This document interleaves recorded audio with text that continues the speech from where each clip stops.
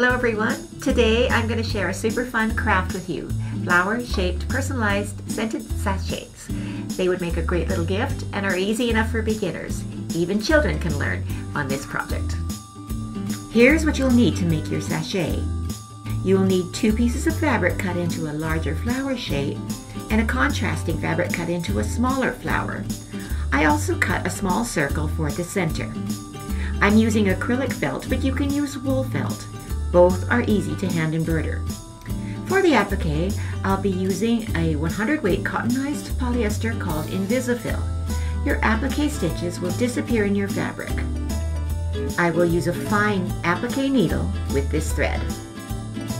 I will use a heavier 8 weight thread to do my embellishing stitches.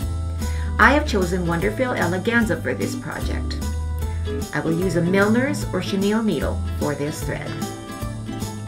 The last thing you'll need is some lavender to fill your sachet. A small funnel or spoon will help you get the lavender into the pouch. First, I will thread my needle with InvisaFil. If I tie a knot right behind the eye of the needle, my thread won't slip out while I stitch. I will attach the center circle to the smaller flower.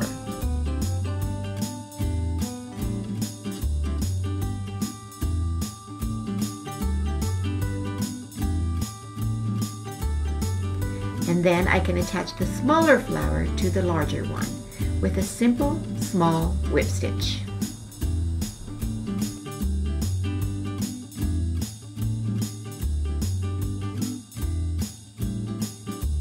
Now I'm going to show you how to do some optional decorative stitching. I'll use the larger needle and the eleganza to decorate my sachet. A simple chain stitch or back stitch will add some outline stitching and French knots will decorate the center. To do a chain stitch, bring your knotted thread from the underside up at your starting point. Drop your needle back down right beside the hole you made coming up, but don't pull your thread all the way through. Leaving this little loop, come back up at the inside of the tip of the loop and drop it back down inside the same hole to make sure you leave another loop the same length. Continue this process around the flower in a tidy chain stitch.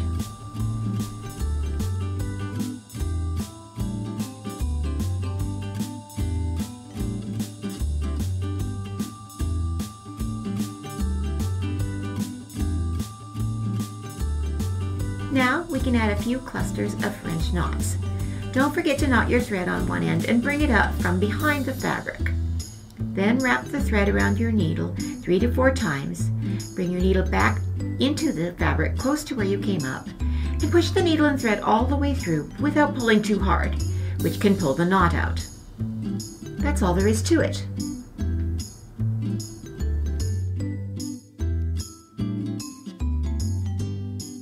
I'm going to add a few straight stitches to further decorate my flower.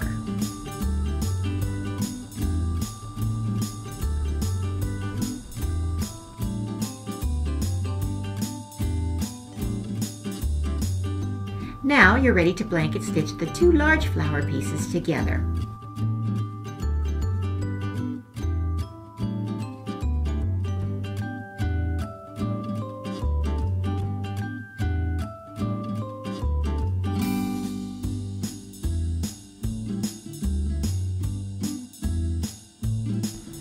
Repeat these steps with regular spacing to create an even stitch.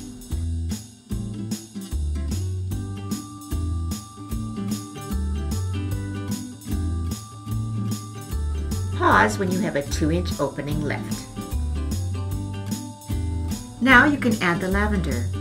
Use a spoon or a funnel to fill the sachet. Distribute it evenly. Then continue your blanket stitch to close the opening.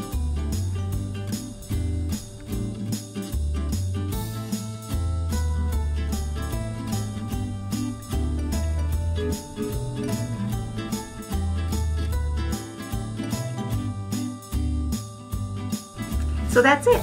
You can use this same process to make sachets in different shapes and decorate them however you like. Don't forget to subscribe for more great tutorials and give us a thumbs up if you like this video. Or you can leave a comment below and let us know what you'd like to see next. We'll see you all next time.